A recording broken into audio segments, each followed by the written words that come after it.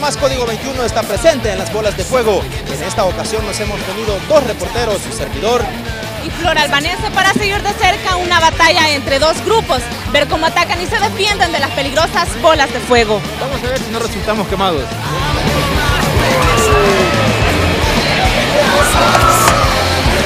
Nuestro Megadrón captaba cómo las llamas despertaron la emoción en las principales calles de Nejapa. Los enmascarados salieron bien protegidos y empapados de agua para lanzar las ardientes bolas que están hechas de trapos, amarrados con alambre y gasolina.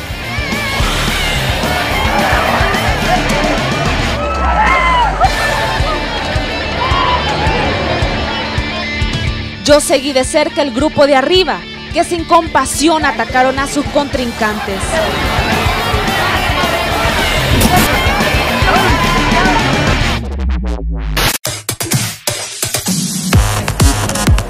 Los de abajo no se quedaban de brazos cruzados y solo esperaban que los de arriba se descuidaran o que se quedaran sin bolas para atacarlos.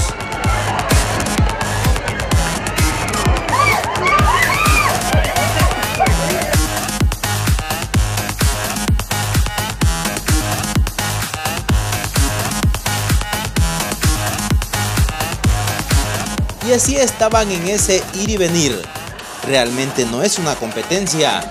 Al final quienes ganan son los turistas, pues gozan de mucha adrenalina, sobre todo cuando una bola los pasa chamuscando.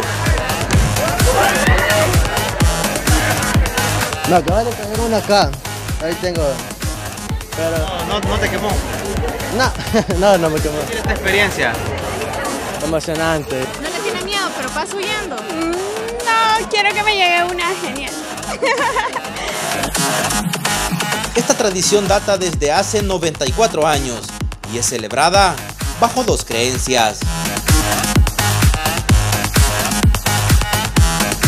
La versión tradicional es aquella que cuando el volcán de San Salvador hizo erupción, hizo que la población de Nejapa, que se ubicaba antes, donde es, el, donde es la lava ahora, se mudara hacia acá.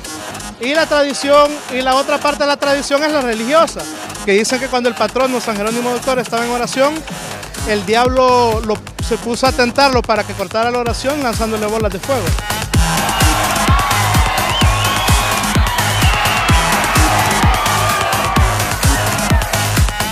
Flor Albanese y Atilio Urias, código 21.